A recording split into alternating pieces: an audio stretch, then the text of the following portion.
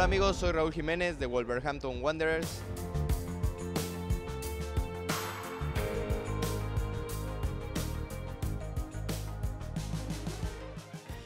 No, it was a very good film, a very emotional film. So you can come and see it because it's uh, very good.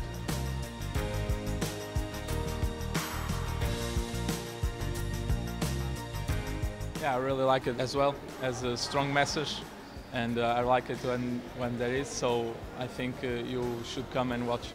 I think uh, all, all can can see this film. It's a very emotion film, and uh, if uh, some someone see it's uh, it's very good for the family, for for all the people.